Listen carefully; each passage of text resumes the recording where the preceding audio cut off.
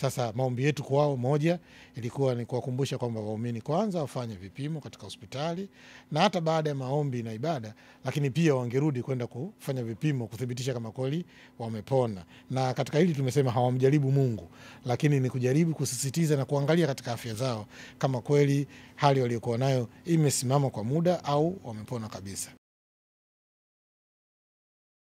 Tuna watu na tunakutana nao kila Jumapili na wengine siku zingine za kawaida, magonjwa haya yameongezeka, na sisi tunashangaa kwa sababu unakuta presha hata kwa watoto wadogo, hata kwa sukari kwa watoto. Zamani haikuwa hivyo. Kwa hiyo tuna wajibu huu mkubwa, na tunapokea wajibu huu mkubwa wa kuzungumza na Wakristo wetu, kuwaeleza namna ambavyo wanaweza kuyatengeneza maisha yao, na ni, muhimu. Biblia inazungumza kwa habari ya afya njema.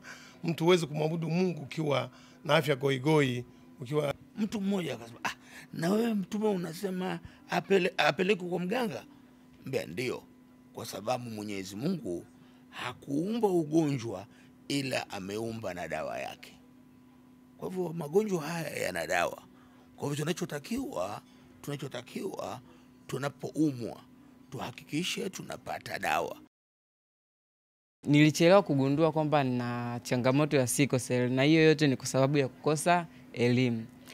Uh, baada ya kugundua kwamba nina tatizo la sickle cell, uh, nilivyofika kituo cha hospitali dokta aka- akaniambia kwamba ni hali ya kawaida, inabidi nizoee na akanipa ushauri, na namshukuru Mungu kwa kweli nimeweza kupigana na nimeshinda, na ninaishi maisha yangu, nafanya shughuli zangu kama kawaida, masomo yangu yanaendelea, namshukuru Mungu. Hapo nyuma nimewahi ishi na watu wanaougua ugonjwa wa kisukari.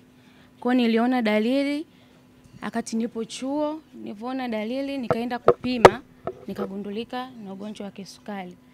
Lakini namshukuru Mungu, saizi naendelea vizuri, na hiyo inatokana na kufuata masharti niliyopewa na daktari.